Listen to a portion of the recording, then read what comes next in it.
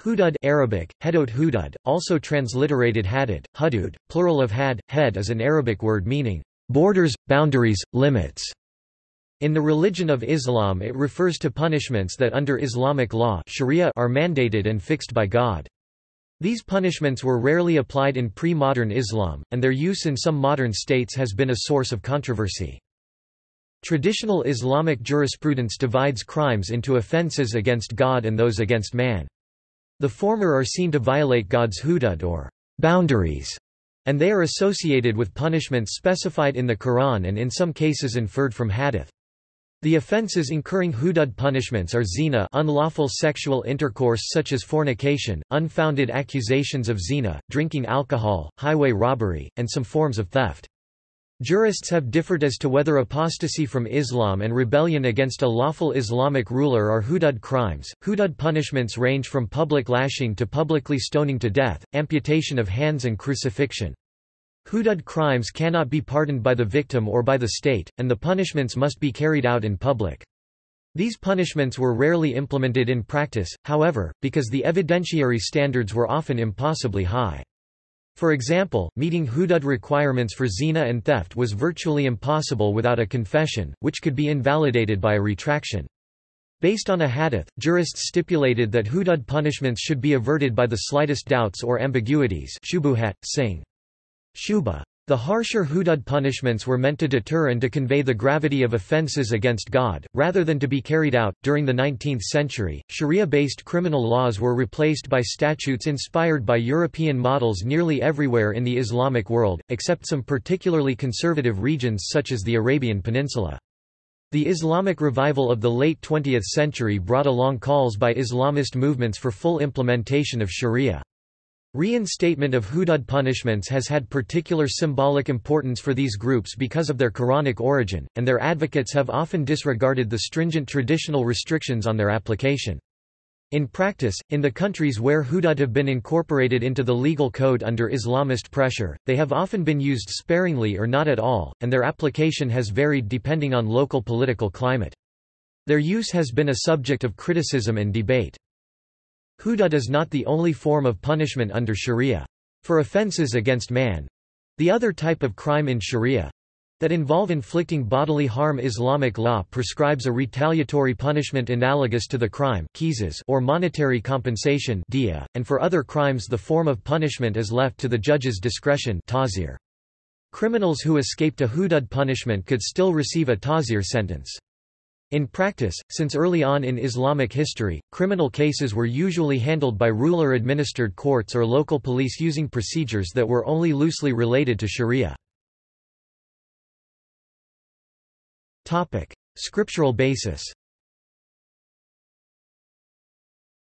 Hudud crimes are defined in the Quran and the Sunnah. Quran The Quran describes several hudud crimes and in some cases sets out punishments. The hudud crime of theft is referred to in Quranic verse 538.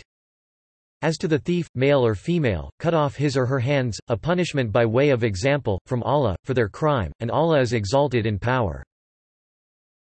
The crime of robbery and civil disturbance against Islam inside a Muslim state, according to some Muslim scholars, is referred to in Quranic verse 533, the punishment of those who wage war against Allah and His Messenger, and strive with might and main for mischief through the land is, execution, or crucifixion, or the cutting off of hands and feet from opposite sides, or exile from the land, that is their disgrace in this world, and a heavy punishment is theirs in the hereafter. The crime of illicit consensual sex is referred to in several verses, including Quranic verse 24-2, The woman and the man guilty of adultery or fornication, flog each of them with a hundred stripes. Let not compassion move you in their case, in a matter prescribed by Allah, if ye believe in Allah and the Last Day, and let a party of the believers witness their punishment. The crime of accusation of illicit sex or rape against chaste women without four witnesses, and a hudud punishment is based on Quranic verses 24-4, 24-6, 9-66 and 16-106, among others Quranic verse. And those who accuse chaste women and do not bring four witnesses, flog them with eighty stripes and do not accept their witness thereafter. Indeed they themselves are impure. Hadiths The crime of intoxication is referred to in Quranic verse 5-90, and hudud punishment is described in hadiths. O ye who believe! Intoxicants and gambling, dedication of stones, and divination by arrows, are an abomination, of Satan's handwork, eschew such abomination, that ye may prosper. The Sahih Hadiths, a compilation of sayings, practices and traditions of Muhammad as observed by his companions, are considered by Sunni Muslims to be the most trusted source of Islamic law after the Quran. They extensively describe hudud crimes and punishments. In some cases Islamic scholars have used hadiths to establish hudud punishments, which are not mentioned in the Quran. Thus, stoning as punishment for zina is based on hadiths that narrate episodes where Muhammad and his successors prescribed it. The tendency to use existence of a shubha lit, doubt, uncertainty to avoid hudud punishments is based on a hadith that states, "...avert hadd punishment in case of shubha." Hudud offences and punishments. The offences subject to hudud punishment are Some types of theft sariqa, punished with amputation of a hand War against God and corruption on earth Traditionally defined as banditry or highway robbery punished with crucifixion, another form of the death penalty, amputation of the right hand and the left foot, or banishment. Different punishments are prescribed for different scenarios and there are differences of opinion regarding specifics within and between legal schools. Rebellion Bagi, rebel, place. Baghat Although there is no consensus, withdrawing from the obedience of the caliph or the imam is considered a hadd crime according to the prevailing traditional interpretation of the Quranic verse 49-9. There is juristic consensus that the rebels must be exhorted to lay down their arms through a trusted negotiator before loyal troops have a license to fight and kill them. Apostasy Ridda, Urt or Irtidad, Artdad leaving Islam for another religion or for atheism, is regarded as one of hudud crimes liable to capital punishment in traditional Maliki, Shafi'i, and Hanbali jurisprudence, but not in Hanafi and Shi'i fiqh, though these schools also regard apostasy as a grave crime against the Islamic State and society and prescribe the death penalty for male apostates. Illicit sexual intercourse zina includes premarital sex and extramarital sex. Classification of homosexual intercourse as zina differs according to legal school. Although stoning for zina is not mentioned in the Quran, all schools of traditional jurisprudence agreed on the basis of hadith that it is to be punished by stoning if the offender is muhsan adult, free, Muslim, and having been married, with some extending this punishment to certain other cases and milder punishment such as lashing prescribed in other scenarios. The offenders must have acted of their own free will. Unfounded accusation of zina Qadhf, al punished by 80 lashes. Drinking alcohol shurb al. The Hanafis forbid drinking alcoholic beverages other than wine only if it leads to drunkenness, while other schools forbid all alcoholic beverages. Punished by 40 to 80 lashes, depending on the legal school. There are a number of differences in views between the different madhabs with regard to the punishments appropriate in specific situations and the required process before they are carried out. Marja following Shia jurisprudence generally believe that hudud punishments can be changed by appropriately qualified jurists. Murder, injury and property damage are not hudud crimes in Islamic penal law, and are subsumed under other categories of Islamic penal law, which are Qisas meaning retaliation, and following the principle of eye for an eye, and dia blood money, financial compensation paid to the victim or heirs of a victim in the cases of murder, bodily harm or property damage. Dia is an alternative to qisas for the same class of crimes. Tazir, punishment administered at the discretion of the judge. History Because the stringent traditional restrictions on application of hudud punishments, they were seldom applied historically. For example, aside from a few rare and isolated instances from the pre-modern era and several recent cases, there is no historical record of stoning for zina being legally carried out. Criminals who escaped hudud punishments could still be sanctioned under the system of tazir, which gave judges and high officials discretionary sentencing powers to punish crimes that did not fall under the categories of hudud and qisas. In practice, since early on in Islamic history, criminal cases were usually handled by ruler-administered courts or local police using procedures that were only loosely related to sharia.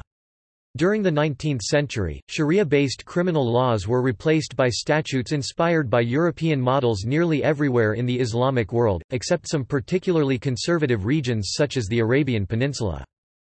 Under pressure from Islamist movements, recent decades have witnessed reintroduction of hudud punishments and by 2013 about a dozen of the 50 or so Muslim-majority countries had made hudud applicable, mostly since 1978. In 1979 Pakistan instituted the Hudud Ordinances. In July 1980 the Islamic Republic of Iran stoned to death four offenders in Kerman. By the late 1980s, Mauritania, Sudan, and the United Arab Emirates had enacted laws to grant courts the power to hand down hadd penalties. During the 1990s Somalia, Yemen, Afghanistan, and northern Nigeria followed suit. In 1994 the Iraqi President Saddam Hussein who had persecuted and executed many Islamists, issued a decree, ordering that robbers and car thieves should lose their hands. Brunei adopted hudud laws in 2014. Enforcement of hudud punishments has varied from country to country. In Pakistan and Libya, hudud punishments have not been applied at all. In Nigeria local courts have passed several stoning sentences for zina, all of which were overturned on appeal or left unenforced. During the first two years when Sharia was made state law in Sudan 1983 and 1985, a hudud punishment for theft was inflicted on several hundred criminals, and then discontinued though not repealed.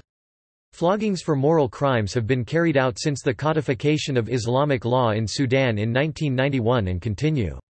In 2012 a Sudanese court sentenced Intisar Sharif Abdallah, a teenager, to death by stoning in the city of Omdurman under Article 146 of Sudan's Criminal Act after charging her with adultery with a married person. She was held in Omdurman prison with her legs shackled, along with her five-month-old baby. She was released on July 3, 2012 after an international outcry. The hudud punishment for zin in cases of consensual sex and the punishment of rape victims who failed to prove the coercion, which has occurred in some countries, have been the subject of a global human rights debate. The requirement of four male witnesses before a rape victim can seek justice has been criticized as leading to Hundreds of incidents where a woman subjected to rape, or gang rape, was eventually accused of zin, and incarcerated, in Pakistan. Hundreds of women in Afghanistan jails are victims of rape or domestic violence, accused of zina, when the victim failed to present witnesses. In Pakistan, over 200,000 zina cases against women under the Hudud laws were underway at various levels in Pakistan's legal system in 2005. In addition to thousands of women in prison awaiting trial for zina-related charges, rape victims in Pakistan have been reluctant to report rape because they feared being charged with zina. The resulting controversy prompted the law to be amended in 2006, though the amended version has been criticized for continuing to blur the legal distinction between rape and consensual sex. Crucifixion in modern Islam, at least in Saudi Arabia, takes the form of displaying beheaded remains of a perpetrator for a few hours on top of a pole. They are far fewer in number than executions. One case was that of Muhammad Bashir al-Ramaly who was executed and crucified on December 7, 2009 for spreading disorder in the land by kidnapping, raping and murdering several young boys. ISIS has also reportedly crucified prisoners. Topic: Requirements for conviction. Topic: Illegal sex. There are certain standards for proof that must be met in Islamic law for zina punishment to apply. In the Shafi, Hanbali, and Hanafi law schools RAJM public stoning or lashing is imposed for religiously prohibited sex only if the crime is proven, either by four male adults witnessing at first hand the actual sexual intercourse at the same time or by self-confession. For the establishment of adultery, four male Muslim witnesses must have seen the act in its most intimate details. Shia Islam allows substitution of one male Muslim with two female Muslims, but requires that at least one of the witnesses be a male. The Sunni Maliki school of law consider pregnancy in an unmarried woman as sufficient evidence of zina, unless there is evidence of rape or compulsion. The punishment can be averted by a number of legal semblances. Shubuhat, however, such as existence of an invalid marriage contract or possibility that the conception predates a divorce. The majority Maliki opinion theoretically allowed for a pregnancy lasting up to seven years, indicating a concern of the jurists to shield women from the charge of zina and to protect children from the stigma of illegitimacy. These requirements made zina virtually impossible to prove in practice. If a person alleges zina and fails to provide four consistent Muslim witnesses, or if witnesses provide inconsistent testimonies, they can be sentenced to 80 lashes for unfounded accusation of fornication QADHF, itself a hadd crime. Rape was traditionally prosecuted under legal categories requiring less stringent evidentiary rules. In Pakistan, the Hudud ordinances of 1979 subsumed prosecution of rape under the category of zina, making rape extremely difficult to prove and exposing the victims to jail sentences for admitting illicit intercourse. The resulting controversy prompted the law to be amended in 2006, though the amended version is still criticized by some for blurring the legal distinction between rape and consensual sex. Theft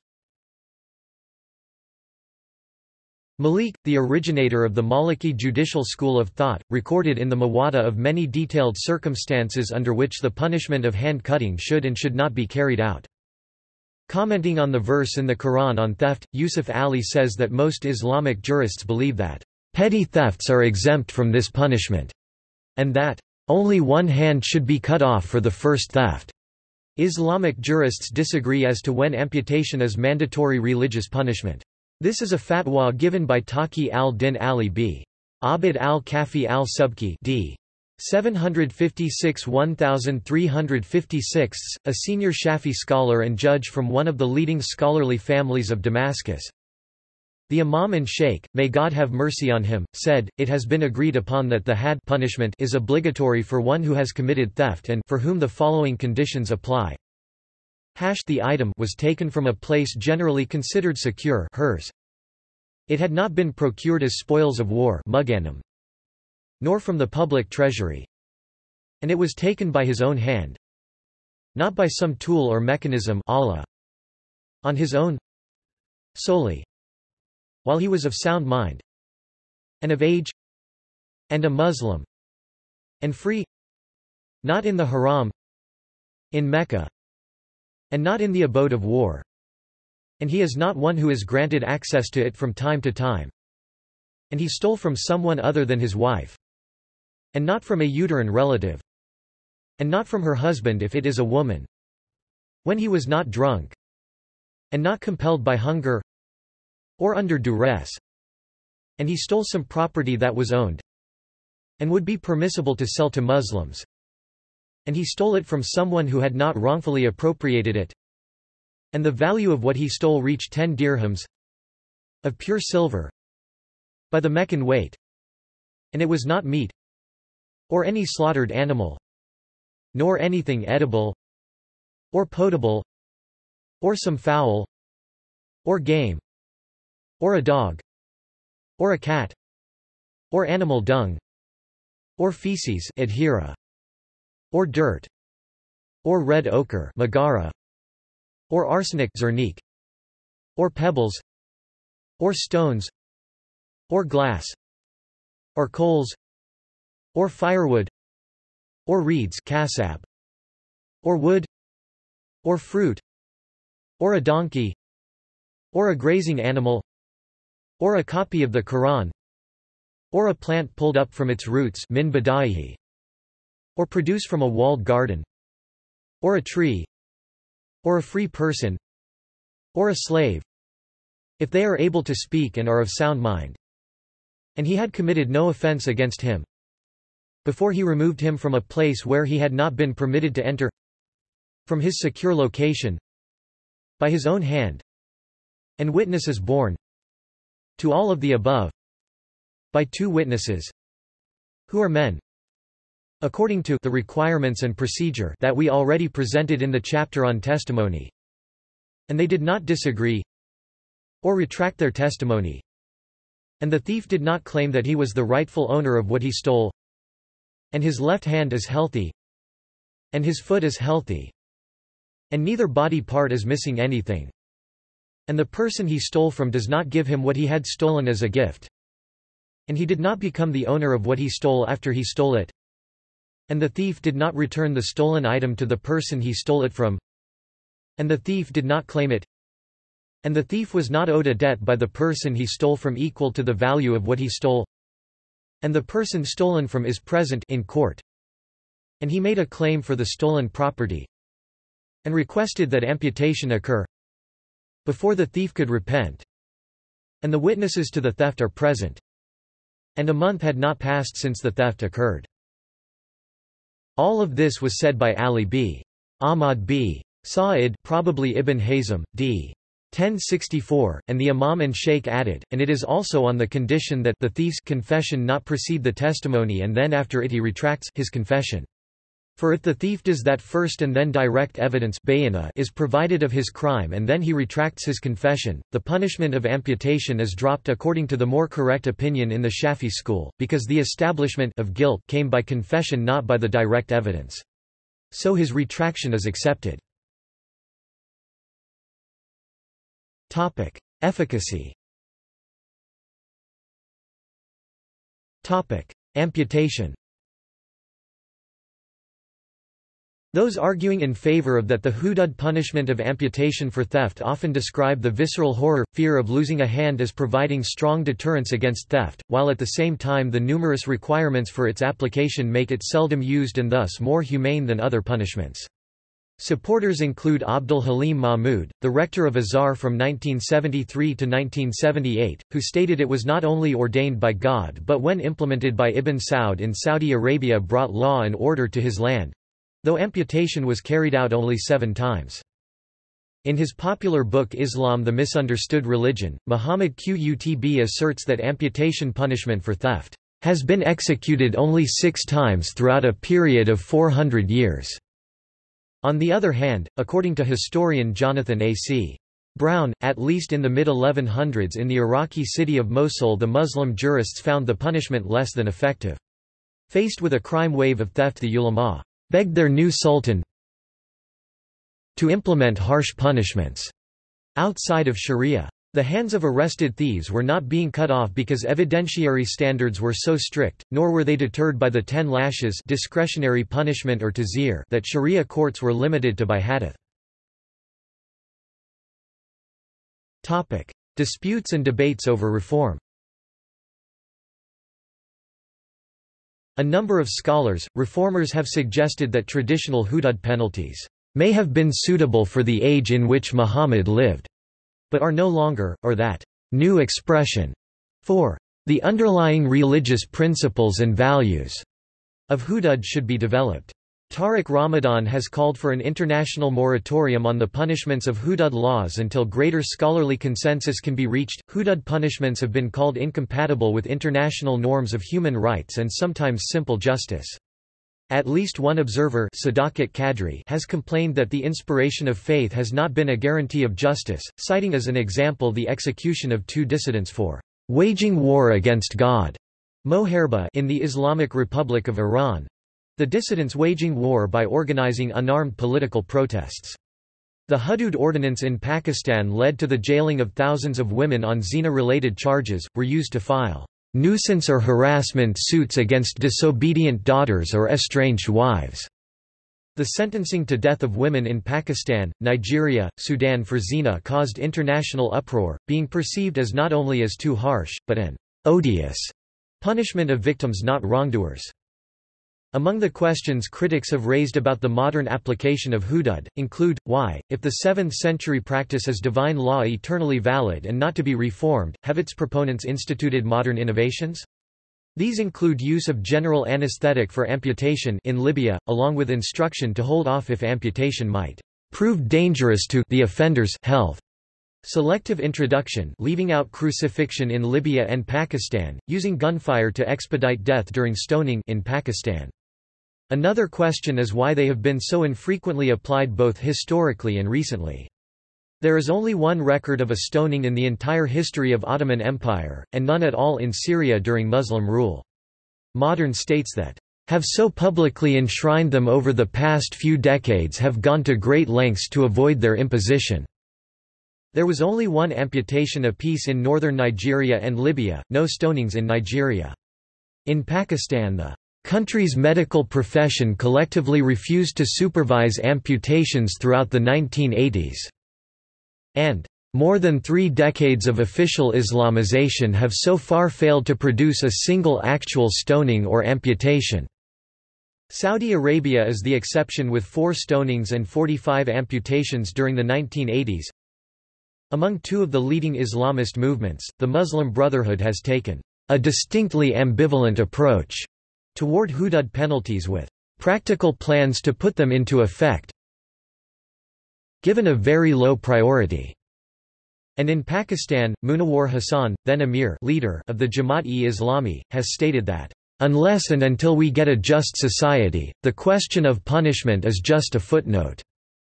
Supporting hudud punishments are Islamic revivalists such as Abul Ala Maududi who writes that in a number of places the Quran declares that sodomy is such a heinous sin, that it is the duty of the Islamic State to eradicate this crime and punish those who are guilty of it. According to Richard Terrill, hudud punishments are considered claims of God, revealed through Muhammad, and as such immutable, unable to be altered or abolished by people, jurists or parliament. Opposition to hudud or at least minimizing of hudud within the framework of Islam comes in more than one form. Some such as elements of the MB and G mentioned above support making its application wait for the creation of a just society, where people are not driven to steal in order to survive. Another follows the modernist approach calling for hudud and other parts of sharia to be reinterpreted from the classical form and follow broad guidelines rather than exact all-encompassing prescriptions. Others consider hudud punishments essentially deterrent in nature to be applied very, very infrequently, others particularly Quranists propose excluding a hadith and using only verses in the Quran in formulating Islamic law, which would exclude stoning though not amputation, flogging or execution for some crimes. The vast majority of Muslims and most Islamic scholars, however, consider both Quran and Sahih hadiths to be a valid source of sharia, with Quranic verse 33.21, among others, as justification for this belief. Ye have indeed in the Messenger of Allah a beautiful pattern of conduct for anyone whose hope is in Allah and the final day, and who engages much in the praise of Allah. It is not fitting for a believer, man or woman, when a matter has been decided by Allah and His Messenger to have any option about their decision. If anyone disobeys Allah and His Messenger, he is indeed on a clearly wrong path. See also Islamic criminal jurisprudence Cairo Declaration on Human Rights in Islam Zia-ul-Haq's Islamization Hudud Ordinance Topic. Notes Topic. References Kadri, Sadakat 2012. Heaven on Earth, A Journey Through Sharia Law from the Deserts of Ancient Arabia. Macmillan. ISBN 9780099523277. Kennedy, Charles 1996. Islamization of Laws and Economy, Case Studies on Pakistan. Institute of Policy Studies, The Islamic Foundation. Further reading Short overviews Rudolf Peters 2009. Hudud, in John L. Esposito. The Oxford Encyclopedia of the Islamic World. Oxford, Oxford University Press. Sylvia Tellenbach 2014. Islamic Criminal Law. In Marcus D. Dubber, Tatjana Hörnle. The Oxford Handbook of Criminal Law, CS1 maint, uses editor's parameter link. M. Cherif Bassiouni 1997, Crimes and the Criminal Process, Arab Law Quarterly, Volume 12, No. 3 1997, pp. 269–286 via JSTOR General references Vikør, Knut S. 2005. Between God and the Sultan, A History of Islamic Law. Oxford University Press. Peters, Rudolf 2006. Crime and Punishment in Islamic Law, Theory and Practice from the 16th to the 21st Century. Cambridge University Press. Wael B. Hallaq 2009. Sharia, Theory, Practice, Transformations. Cambridge University Press. Topic. Specific topics Zina, Rape and Islamic Law, an Islamic legal analysis of the rape laws in Pakistan.